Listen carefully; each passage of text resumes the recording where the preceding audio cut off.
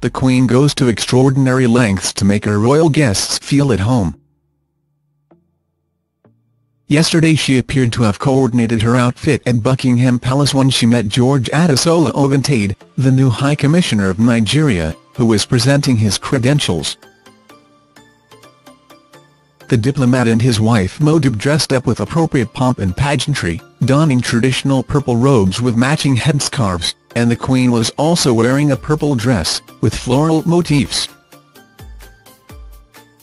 Benjamin Disraeli, Ann Widdecombe and Nadine Dorries are among politicians to have penned successful novels, but former Tory Chancellor Norman Lamont won't be joining their ranks.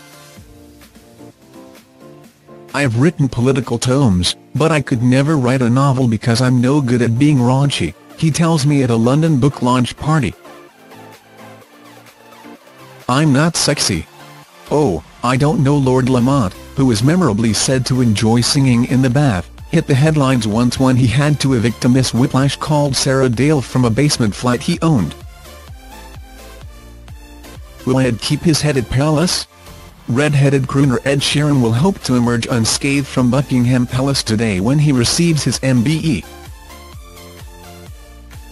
Last year he suffered a nasty cut on his cheek when he was allegedly struck by Princess Beatrice as she pretended to knight pop singer James Blunt during a riotous party at Royal Lodge, Windsor. A pal later explained, he went to hospital and came back ready to party with stitches in.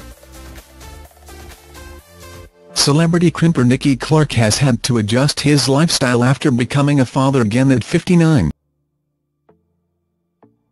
Once a tireless party-goer, Clarke, who is father to baby Nico with his girlfriend Kelly Simpkin, 35, makes sure he is tucked up by 10 p.m. My life has gone topsy-turvy, he says I often get up at 3 a.m. if my new baby son wakes up, even though it's only a few hours before my alarm is set to go off. My new bedtime is 10 p.m., I used to think anything before 1 a.m. was an early night.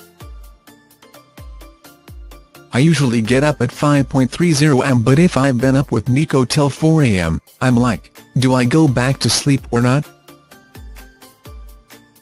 Pippa's mum looks young enough to be her sister. Pippa Middleton's wedding was one of the society events of the year, but on Tuesday it was Mum Carol's turn to shine at the Henry Van Straubenzee Memorial Fund Carol concert in Chelsea.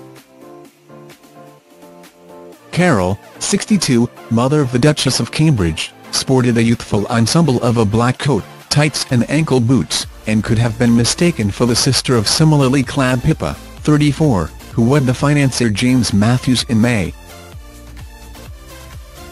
Oscar-winning actress Glenda Jackson, 81, has dubbed the response to allegations of sexual harassment in the London theatre world hypocritical, saying it is widespread in all professions. The former Labour MP says, it seems to me that there is an amount of hypocrisy that's swirling around this particular issue. Are people pretending they have never heard of anything like this before? There isn't a woman in the land who hasn't experienced this.